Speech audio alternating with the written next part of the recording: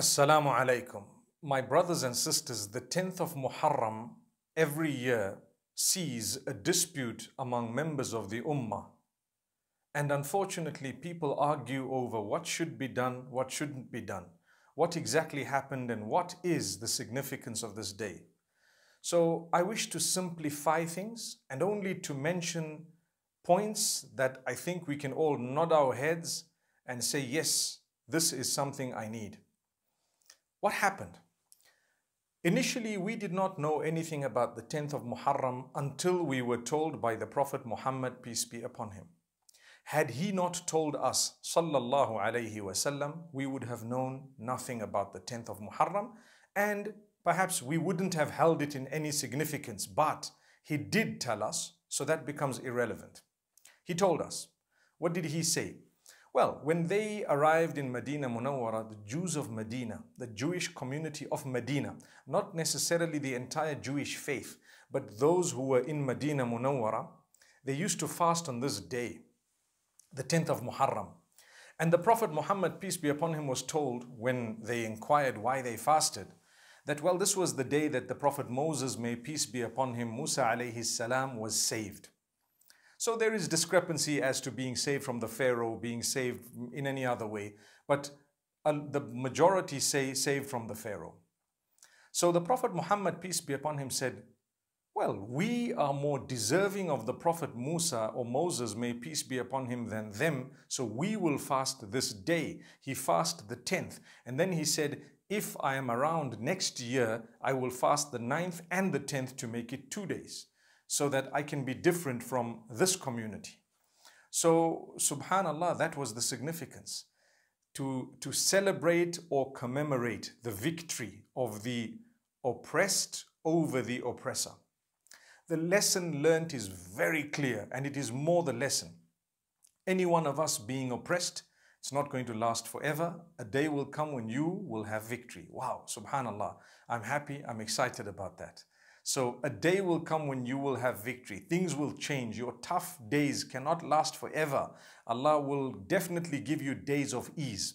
And as for those who are oppressors, you wrong people, you harm them, you make their lives difficult, you abuse them, your day is coming too.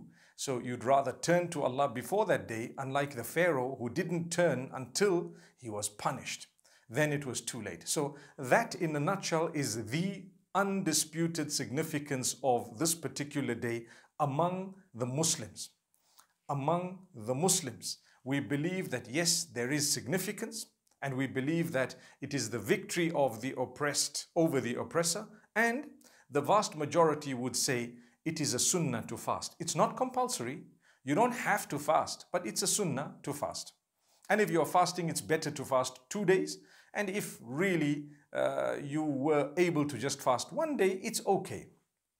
Now, decades later, after the Prophet ﷺ's time, one of his grandsons, Al Hussein, oh, uh, Al Hussein ibn Ali radiallahu anhuma, was martyred.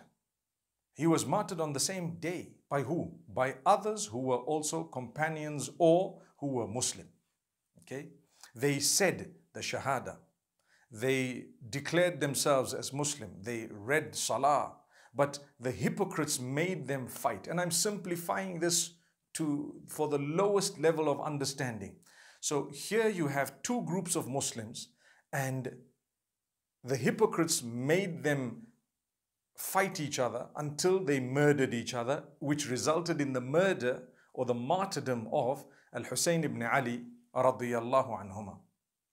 One of the greatest of the companions of the Prophet ﷺ, Al-Hussein ibn Ali radiyallahu anhuma, the son of the fourth Khalif of Islam, the son of the cousin of the Prophet Muhammad ﷺ, but primarily the grandson, the son of the daughter of the Prophet Muhammad.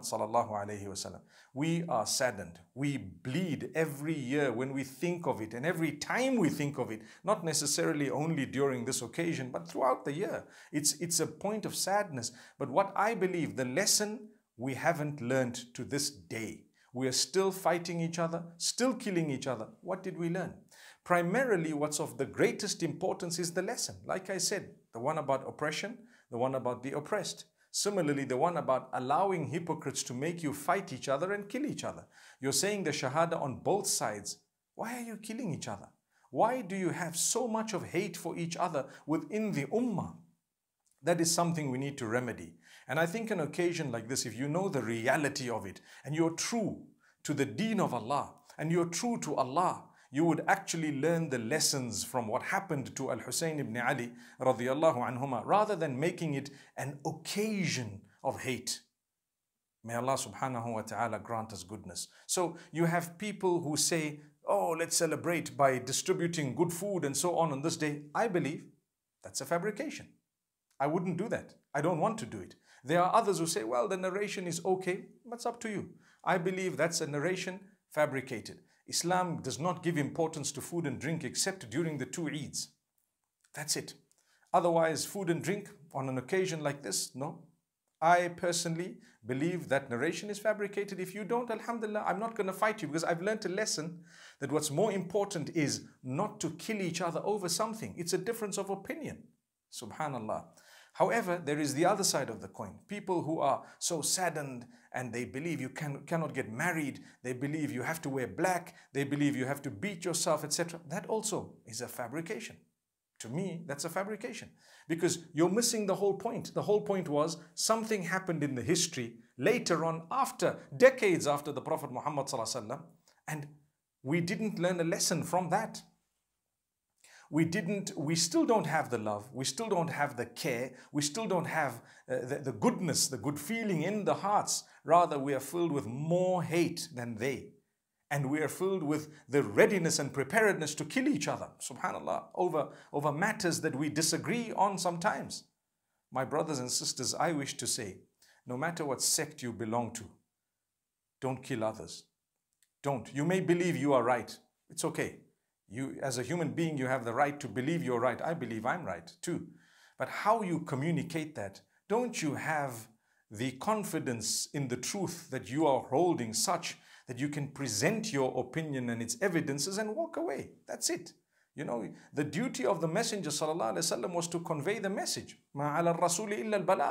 So we are the followers of the Messenger. Convey the message. Look, I believe this. I've given it to you, and I believe we should actually learn a lesson which is more important than anything else. For me, the significance of the 10th of Muharram primarily is that of the victory of the oppressed over the oppressor, oppressor and oppression, uh, the story of Musa alayhi salam and the Pharaoh, and perhaps the fasts that come in the Sahih narrations. And thereafter, what happened in history is a lesson. It's a lesson. We don't really draw the lesson, we don't really take heed, and still we make a big noise during this occasion and we actually defeat the entire purpose of whatever happened. May Allah grant us goodness. I want to call on you all, my brothers and sisters, while you're doing whatever you believe you have to do, to understand we are one ummah, come what may no matter how much you feel that the other man who's saying Ashhadu an la ilaha illallah wa ashhadu anna Muhammad Rasulullah is a deviant, he has said that shahada and who knows that will come to his rescue by the will of Allah subhanahu wa ta'ala on the day of judgment. May Allah forgive me. I thought really I would mention this. I'm in no ways belittling anything that happened on this day. For me, one of my heroes is Al Hussein ibn Ali radiallahu anhuma, and he should be for every Muslim the family of the Prophet Muhammad, peace be upon him, should be more important than our own families and ourselves. Indeed. But what's the lesson we learned? That's the question.